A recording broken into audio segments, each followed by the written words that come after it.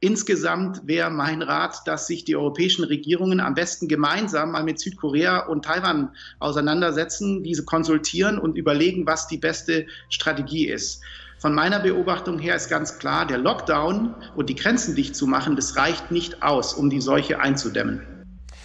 Jetzt, wenn wir vergleichen die Situation in China und unsere Situation, jetzt sagen wir mal in Europa, dann haben wir ja einen sozusagen Vorsprung Chinas, Vorsprung Chinas in den Erfahrungen und auch in der Umsetzung von Maßnahmen. Wir haben am Anfang äh, von Ihnen gehört, dass äh, in China auch einige Fehler gemacht worden sind, aber dann ist man ja sehr rigide vorgegangen.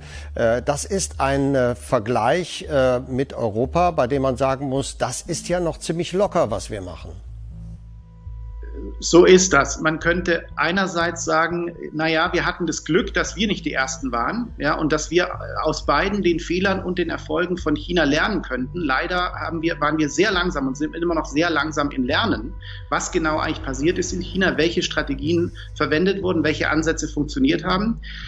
Ähm, strategisch muss man sagen, dass die, die, die, gesamte westliche Welt und die SARS-Länder in Asien, also die Länder, die Erfahrung, bittere Erfahrungen hatten mit SARS und MERS, dass die komplett, äh, komplett andere Strategien fahren. Die SARS-Länder haben von Anfang an immer nur auf Eindämmung gesetzt.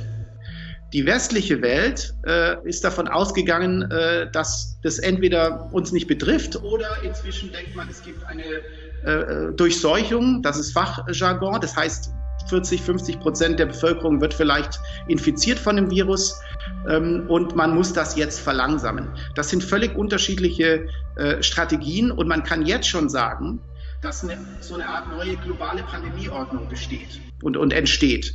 Und China führt in dieser Ordnung ganz klar.